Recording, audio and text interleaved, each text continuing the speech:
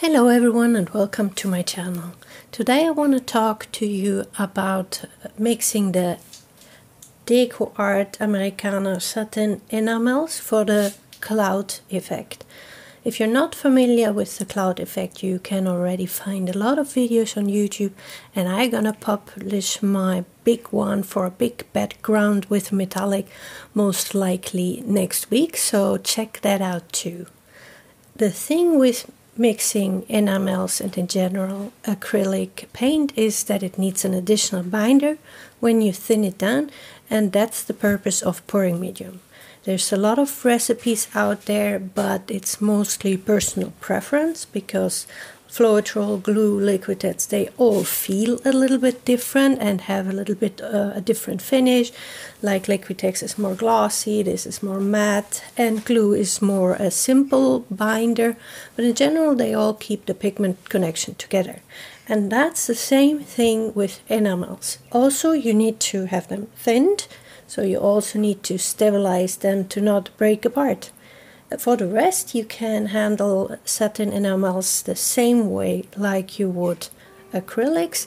So I personally say if you're not sure about your recipe, if with acrylics or enamels, use 30% pouring medium to paint and you're always going to be fine.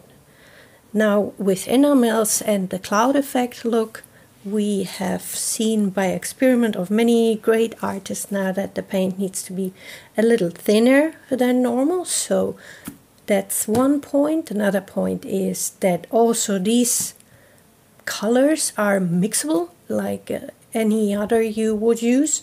And you can also store them the same way you do store acrylics. I tried that already. So what i mean with mixable is if you look at the color wheel green and uh, blue give you turquoise. So that's what I also gonna do. That will also happen in your pour and that's why you might get muddy colors with colors that don't work together. So I'm gonna show you two options one making turquoise and for the rest I eventually gonna mix some additional gold or I don't know yet.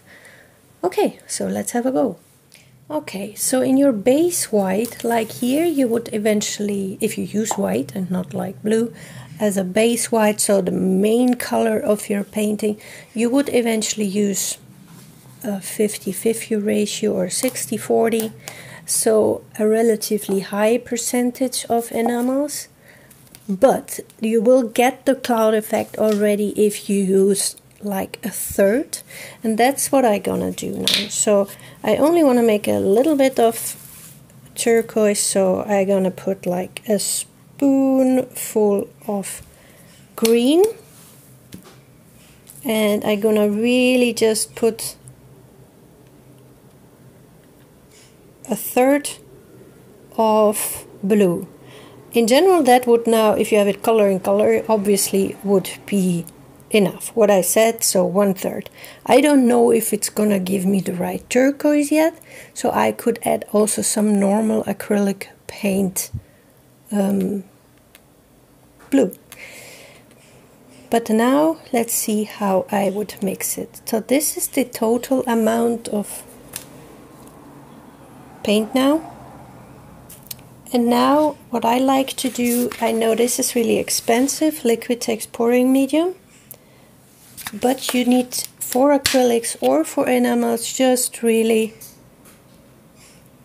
yeah that's already it.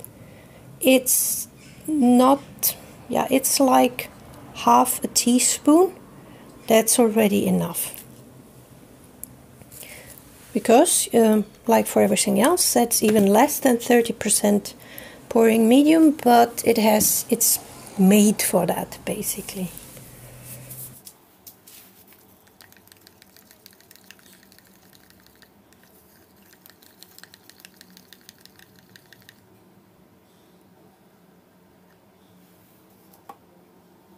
Yeah, on camera you can't hardly see that because it's really a deep uh, permanent green but now it's still very greenish. I don't want to add more enamel because that's also rather expensive of course so I'm just gonna get a little bit of more blue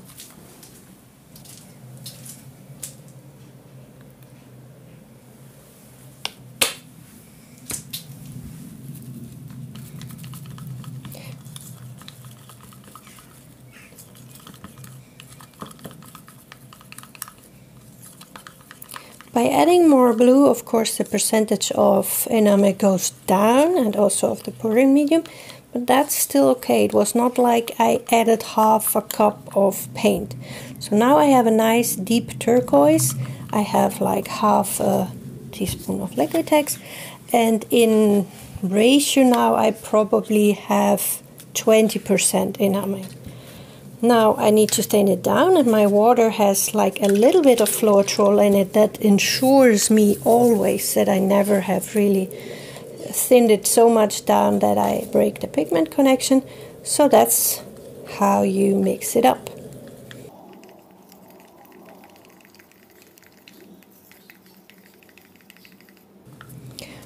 What I have to say is when you store it, which is perfectly fine, it will thicken a bit so make sure you have it in a container that you can open and add some additional water.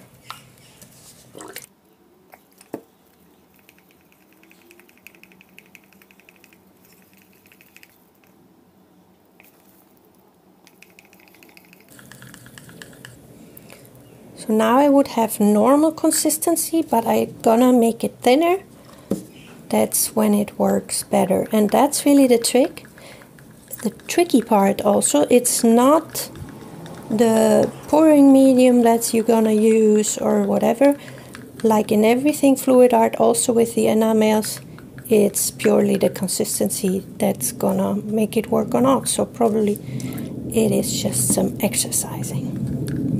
So this one is good now. It's uh, thin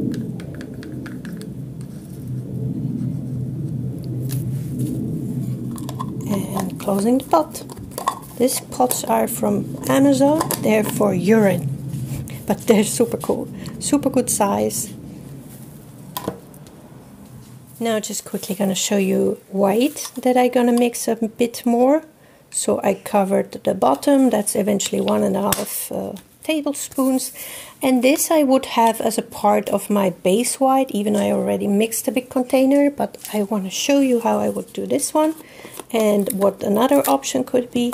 So opening up the white, always mix that before you go ahead. But I, and here I would add half, half, so sorry, 50% to paint. So I would use a little bit more than with the normal paint that just goes in there. Like here I have the bottom of the cup covered and I add half of it of enamel to it. And now just for everybody who doesn't have Liquitex, I'm gonna use the most common one, which is Floetrol. And there I would not only use like half a or a teaspoon or something like that. I would use a little bit more. Floetrol is a conditioner and a binder and it gives a very smooth effect, long taking, uh, opening the paint opening time a little bit more. So here I would add the same amount when I added the white covering the base. So like 50-50 to paint.